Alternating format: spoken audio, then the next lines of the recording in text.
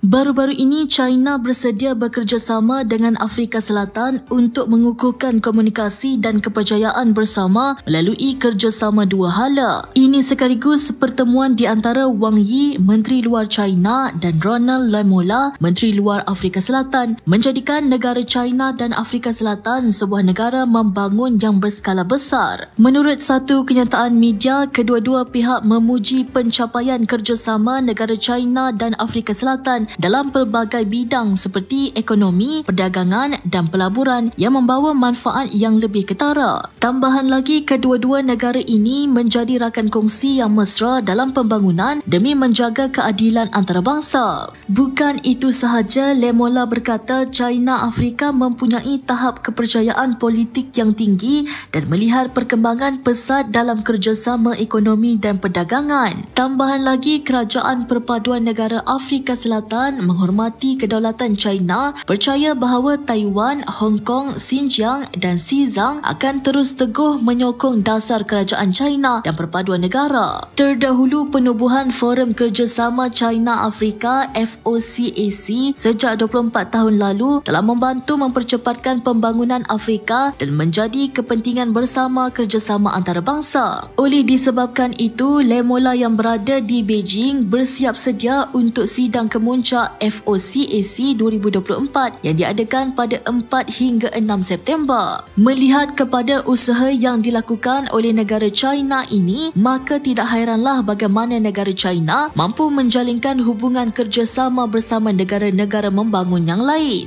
Ini juga sekaligus membuktikan China Afrika berjaya mempromosikan kejayaan menerusi sidang kemuncak itu sekaligus mengukuhkan momentum dalam pembangunan Afrika. China Inspirasi Dunia.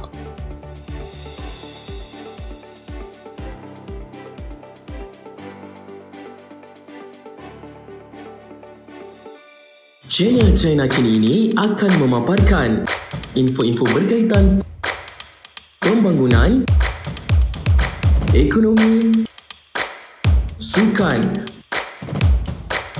pelancongan, kecanggihan sains dan teknologi yang terdapat di negara China. Untuk perkongsian lebih banyak info menarik, jom subscribe channel China Kini ini. China, inspirasi dunia.